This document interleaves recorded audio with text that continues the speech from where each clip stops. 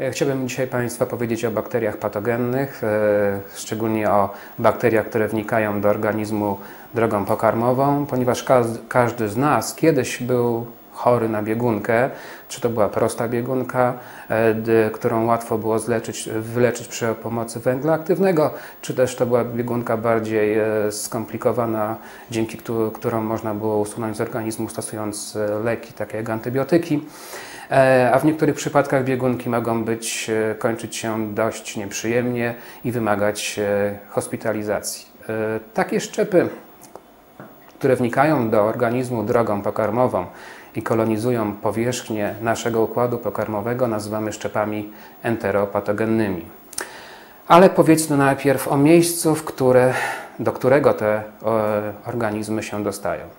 Najprościej mówiąc, układ pokarmowy jest długą rurą, długą rurą, która jest podzielona na szereg e, fragmentów o różnych właściwościach. Ponieważ zajmuje się rozkładem pokarmu, enzymatycznym rozkładem na drobne fragmenty i wchłanianiem, wiąże się z tym główna jego funkcja, którą jest zwiększenie powierzchni.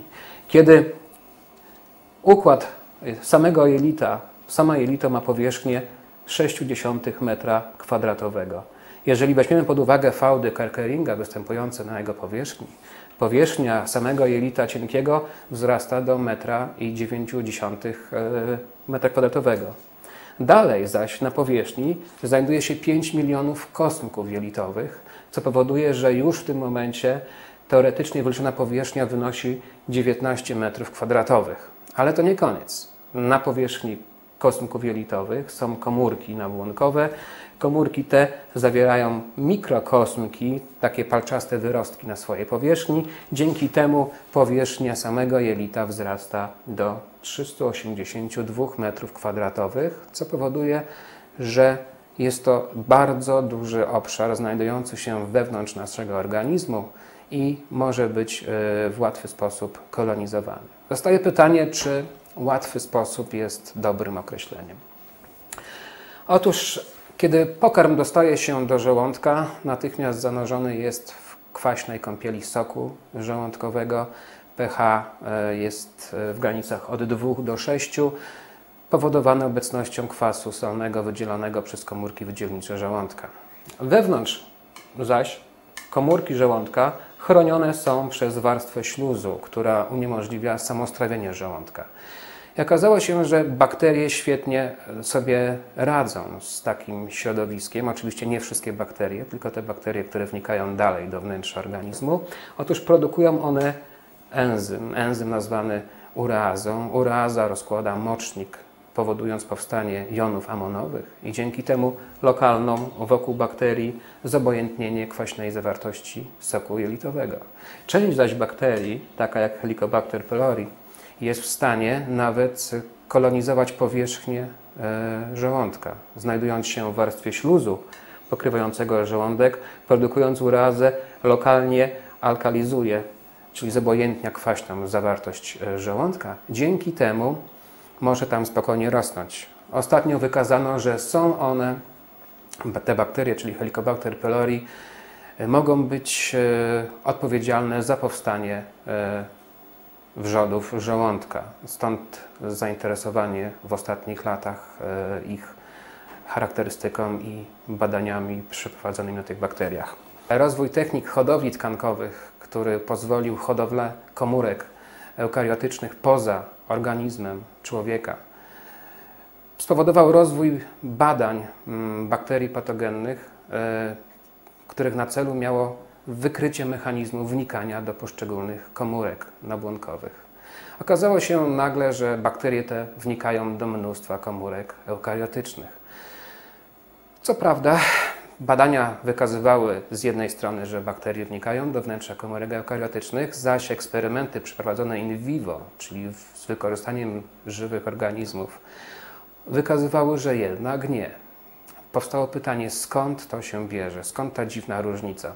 Otóż okazało się, że w normalnej tkance wyścielającej narządy komórki nabłonkowe występują w postaci zbitej warstwy blisko do siebie przylejających komórek, takich kafelkowatych, y, tworząc ścisłą barierę oddzielającą to, co jest środowiskiem zewnętrznym, od tego, co jest na wnętrzem naszego organizmu.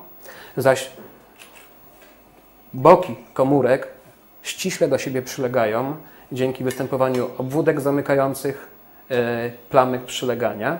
Dzięki temu trudno jest przedostać się między komórkami na zewnątrz organizmu lub do środka tego organizmu. Zaś jeżeli zrobimy zdjęcie z mikroskopu skaningowego powierzchni takiego nabłonka, możemy zaobserwować, że te komóreczki, które są tutaj prawie niewidoczne, ponieważ jest to wszystko pokryte śluzem, przylegają do siebie, mając formę e, wielokątów. Dzięki temu nie ma wolnego fragmentu e, otwartej przestrzeni występującej między nimi. Zaś kiedy zrobimy zdjęcie hodowli tkankowej e, prowadzonej w sztucznych warunkach, okazuje się, że komórki rosną nieregularnie. Między nimi znajdują się fragmenty przestrzeni nieporośniętej, nie zostaje odtworzona struktura tkanki. Spójrzmy na ten przykład. Komórki rosnące na powierzchni szkła pokazują przynajmniej trzy swoje powierzchnie: powierzchnię boczne i powierzchnię zewnętrzną. Kiedy zaś specjalnymi metodami przeprowadzimy hodowlę i otrzymujemy taką hodowlę spolaryzowaną, która w jakiś tam sposób odtwarza warunki występowania tkanki w organizmie, powstaje też e, matrix zewnątrzkomórkowa, czyli taka struktura ustawiająca komórki w odpowiedniej kolejności, w odpowiedniej przestrzeni, ale jednak dalej są fragmenty boczne ścian e, od, e, uwidocznione. W prawdziwej tkance, w prawdziwej tkance nabłonkowej, naturalnej, następuje ścisły podział e, powierzchni komórki. Mamy część komórki kontaktującą się ze światem zewnętrznym oraz części boczne i podstawę. I okazuje się, że bakterie patogenne wnikające do wnętrza organizmu drogą pokarmową dostają się atakując komórki od strony bocznej i podstawy. Więc kiedy bakterie przejdą przez kwaśną kąpiel w soku żołądkowym, znajdą się w jelicie, znajdują się w rurze, w rurze, której, przez ściany której nie mogą się przedostać. No właśnie, tutaj jest bardzo interesujący pomysł, jak przedostać się przez coś, co teoretycznie nie jest do przejścia. Otóż pomaga nam tutaj sam organizm, ponieważ organizm musi rozpoznawać coś, co jest nami, od tego, co nie jest nami, i produkować odpowiednie przeciwciała, które są zastosowane do pozbywania się tego, co nie jest nami z naszego organizmu. I do tego jest potrzebna jedna rzecz. No, potrzeba w jakiś sposób pobrać próbkę tego, co, je, co nie jest nami, żeby na, na tej podstawie nauczyć się, jak to rozpoznawać. Coś takiego dzieje się w kępce Peyera. Kępki Peyera są to takie e, zgrubienia tkanki limfatycznej występującej e, na przykład w jelicie cienkim i wewnątrz e, tej tkanki znajdują się komórki prezentujące antygen, a na powierzchni specjalny typ nabłonka nazwany nabłonkiem FAE. W tym miejscu organizm pobiera próbki środowiska zewnętrznego, tak aby nauczyć komórki limfatyczne w jaki sposób je rozpoznawać i następnie eliminować. Charakterystyczną cechą e, nabłonka pokrywającego kępkę Peyera jest to, że oprócz typowej, typowych komórek, na powierzchni których występują kosmki jelitowe, znajdują się tam też komórki M. Ich nazwa polega od występowania na ich powierzchni mikrosfałdowań e, błony. Jeżeli spojrzymy na zdjęcie z mikroskopu elektronowego, Stanowić one będą takie zagłębienia, depresje w warstwie komórek pokrywających nabłonek. I właśnie przez te komórki przechodzi materiał do wnętrza kępki Peyera, gdzie jest obrabiany i prezentowany przez komórki prezentujące antygen. I te komórki stały się celem ataku bakterii patogennych. A przynajmniej większości bakterii patogennych bo musimy powiedzieć na początku, że nie wszystkie wnikają do wnętrza komórek eukariotycznych. Enteropatogenne szczepy Escherichia coli. Otóż bakterie te nie są zdolne do wniknięcia do wnętrza komórek nabłonkowych. Co prawda w warunkach laboratoryjnych, przy długich czasach inkubacji, po kilkunastu godzinach otrzymuje się komórki zarażone, lecz w warunkach naturalnych to się nie dzieje. Komórki Escherichia coli enteropatogenne osadzają się na powierzchni komórek e, nabłonkowych jelita, powodując zmiany struktury komórek jelitowych. Zmiany te nazywamy wymazywaniem e, komórek jelitowych, z tego względu, że część mikrokosmków obecnych na powierzchni komórki eukariotycznej zostaje zniszczona, a zaś kilka leżących bezpośrednio pod samą bakterią łączy się, tworząc tak zwany pedestal, na szczycie którego bakteria się znajduje. A żeby było ciekawiej, e, okazało się, że żeby bakteria przylegała do takiego pedestalu, musi e, coś w komórce eukariotycznej łączyć się z białkiem intyminą znajdującą się na powierzchni bakterii. I ku zdziwieniu naukowców okazało się, że receptorem, czyli czymś, co się przyłącza do intyminy, czyli coś tak jakby jedną stroną rzepa, e, jest też białko bakteryjne. Okazuje się, że Escherichia coli dzięki aktywności systemu transportu białek zwanego systemem trzecim, czyli składającego się z igły i strzykawki, jak można było powiedzieć, wprowadza do wnętrza komórki eukariotycznej białko, które będzie jej służyło do przyklejenia się do powierzchni tej komórki. Intymina i jej receptor TIR wprowadzony do wnętrza komórki eukariotycznej staje się jedną z głównych determinant patogenezy u enteropatogennych bakterii Escherichia coli. Spójrzmy teraz na inne bakterie. Tutaj właśnie mamy bakterie z rodzaju Yersinia, Yersinia enterocolitica lub Yersinia pseudotuberculosis. Bakterie te są odpowiedzialne za powstanie zmian chorobowych występujących po pierwsze w przewodzie pokarmowych biegunek e, i rozwijając się dalej mogą powodować zmiany e, ropne występujące w dalszych tkankach. Otóż bakterie te przylegają do powierzchni całej, całego nabłonka, lecz tylko te, które przylgnęły do powierzchni komórek M, są przez te komórki fagocytowane i znajdują się w wodniczkach wewnątrz komórki M. Charakterystyczną cechą takiej wodniczki, w odróżnieniu od zwykłej wodniczki makrofaga powstałej podczas fagocytozy, jest to, że celem komórki M jest przekazanie zawartości wodniczki do wnętrza kępki Peyera e, w stanie jak najmniej zmienionym. Dzięki temu do tej wodniczki nie przyłączają się lizosomy, więc bakteria spokojnie nie ulega strawieniu, lecz jest transportowana do wnętrza kępki Peyera, gdzie zostaje uwolniona już pod warstwą komórek nabłonkowych, czyli pokonała następną barierę ochronną. Pierwszą to była zakwaśna zawartość e, soku żołądkowego, drugą jest zaś pokonanie warstwy komórek nabłonkowych. Znajdując się wewnątrz organizmu, już e, w przestrzeni międzykomórkowej, bakterie z rodzaju Yersinia mogą wydajnie się dzielić, kolonizując kępkę Peyera i mogą też wykorzystywać komórki znajdujące się wewnątrz kępki Peyera, takie jak makrofagi, do tego, żeby zostać przez nie pochłonięte, a następnie przetransportowane do innych miejsc naszego organizmu. W przypadku bakterii rodzaju Yersinia ważno, bardzo ważną rolę pełnią białka kodujące, mm, kodowane na plazmidzie PYV. Białka te są regulowane mm, i mogą być ekspresjonowane w odpowiednich miejscach i w odpowiedniej, odpowiedniej temperaturze, w odpowiednich warunkach.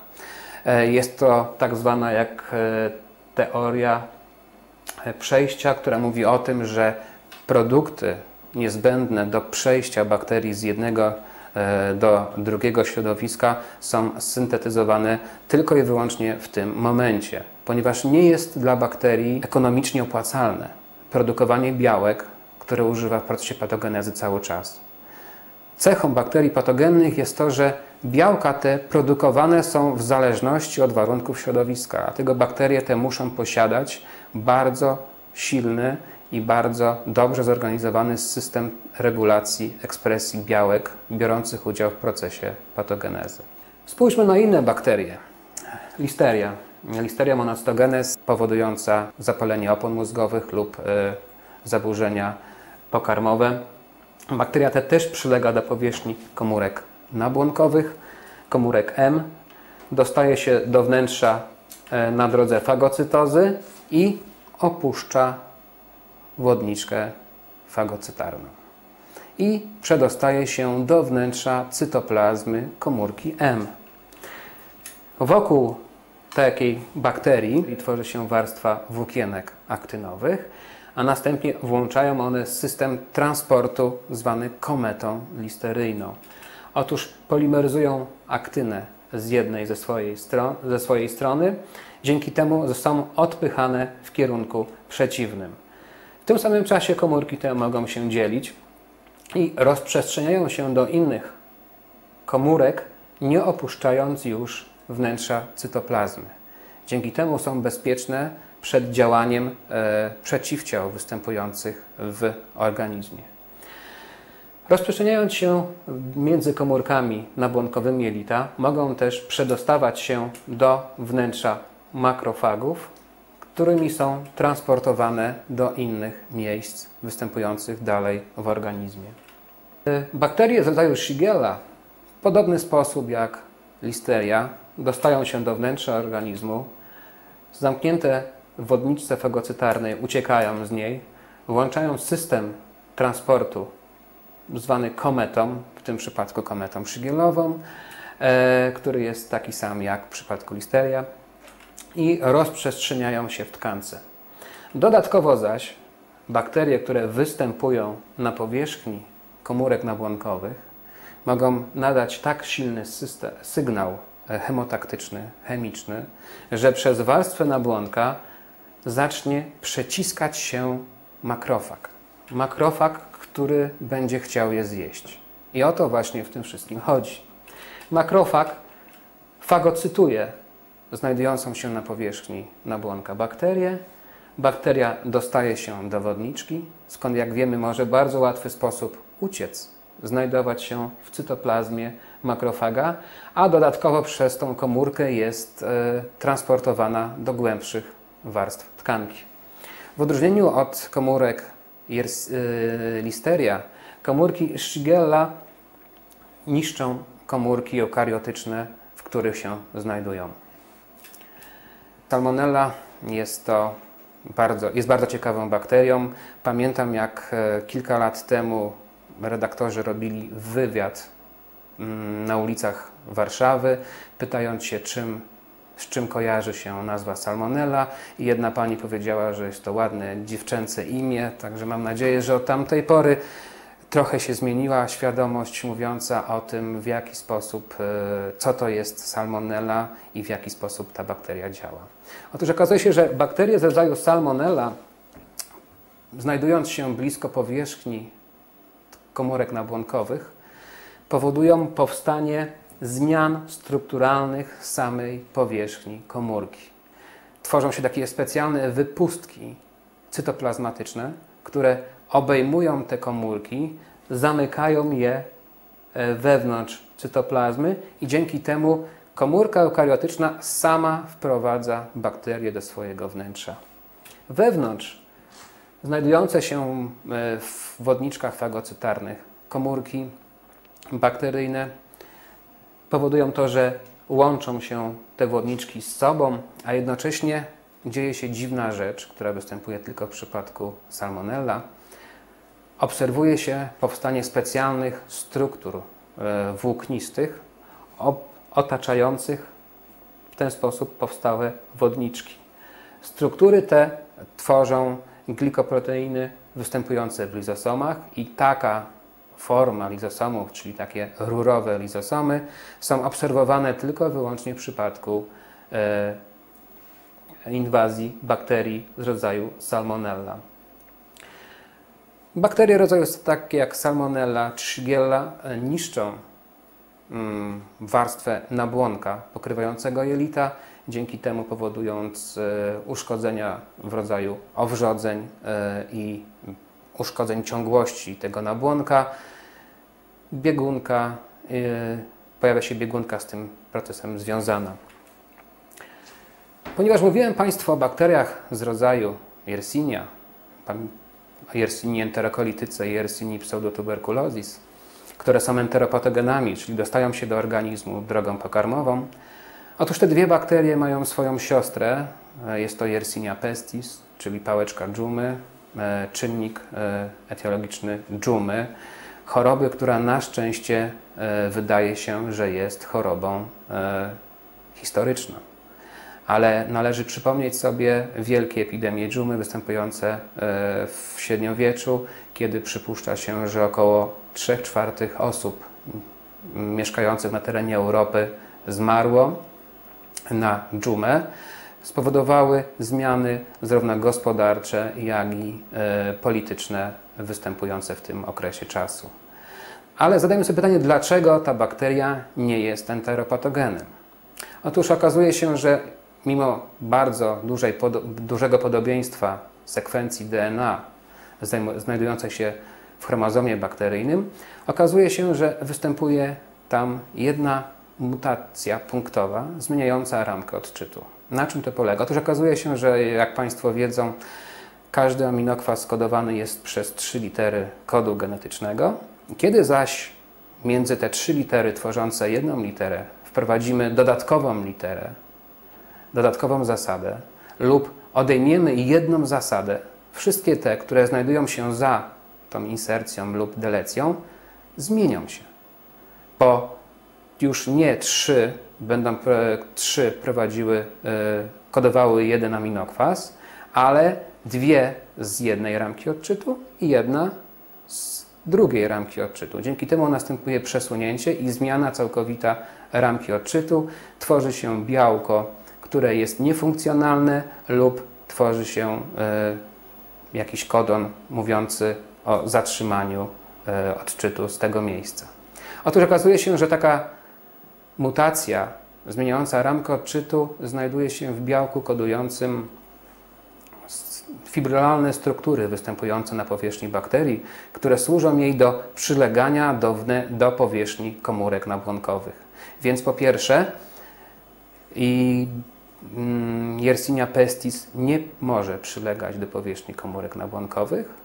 Po drugie, posiada dodatkowy plazmid, plazmid kodujący proteazę, którą reguluje aktywność białek biorących udział w procesach e, przenikania przez warstwę komórek nabłonkowych. Dodatkowo możemy powiedzieć, że najważniejszą cechą, która świadczy o tym, że ta bakteria nie jest patogenem, jest to, że dostaje się do organizmu całkowicie inną drogą, czyli przenika, może przenikać e, bezpośrednio do krwiobiegu dzięki e, ugryzieniu pchły lub do układu oddechowego przy zarażeniu kropelkowym i dzięki temu jest natychmiast fagocytowana przez znajdujące się wewnątrz pęcherzyków płucznych makrofagi. Ona nie musi przenikać przez warstwy nabłonka, jest bezpośrednio w szybki sposób dostarczana do wnętrza organizmu. I mówiąc o dżumie, możemy powiedzieć, że sami jesteśmy dziećmi dżumy.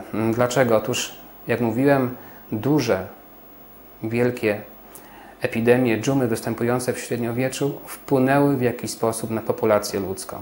Kiedy przyjrzymy się roz częstotliwości występowania grupy krwi 0 w Europie zaobserwujemy, że najmniej osobników z grupą krwi 0 znajduje się na jej wschodzie, najwięcej jej na jej zachodzie. W porównaniu z tym częstotliwość występowania grupy krwi B w Europie jest odwrotna. Najwięcej na wschodzie, najmniej na zachodzie. I odpowiada to mniej więcej rozprzestrzenianiu się Mm, pałeczki dżumy w Europie. Okazało się, że osobnicy, polega, którzy posiadali grupę krwi 0, e, byli w jakiś sposób lepiej z tej populacji eliminowani przez pałeczkę dżumy. Badania wskazują na to, że występuje podobieństwo antygenowe powierzchni komórki bakteryjnej z powierzchnią, e, powierzchniowym antygenem grupy krwi 0. Dzięki temu, dzięki tej mimikrze komórka bakteryjna trudniej zostawała usunięta z organizmu ludzi posiadających grupę krwi 0 i w ten sposób e, ulegali oni mm, prędzej zakażeniu i eliminowaniu z populacji ludzkiej. Powróćmy znowu do bakterii enteropatogennych i mm, powiedzmy sobie, ile tych bakterii może wystarczyć do tego, aby organizm ludzki zachorował, abyśmy byli chorzy. W przypadku Campylobacter jejuni jest to od 5 do 100 komórek obecnych w naszym pokarmie. W przypadku salmonelli liczba ta musi wynosić 10 do 7, czyli 10 e, milionów komórek, które dostają się do wnętrza organizmu. Tak, e, żeby zachorować i czasami ta ilość bakterii nie wystarcza. Wszystko jest to związane też z odpornością naszego organizmu. Niektóre z tych bakterii e, atakują tylko i wyłącznie osoby posiadające obniżone właściwości układu immunologicznego.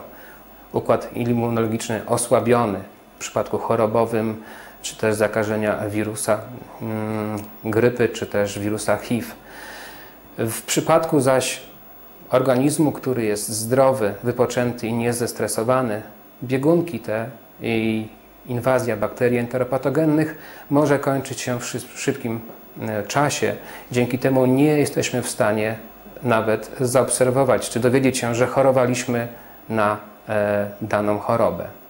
Takie ciekawe dane dotyczące częstotliwości zakażeń bakteriami enteropatogennymi przeprowadzono przy okazji poboru żołnierzy do armii szwedzkiej i fińskiej. Okazało się, że ponad 70% e, poborowych w swojej krwi zabierało przeciwciała skierowane przeciwko Yersinia enterokolityce.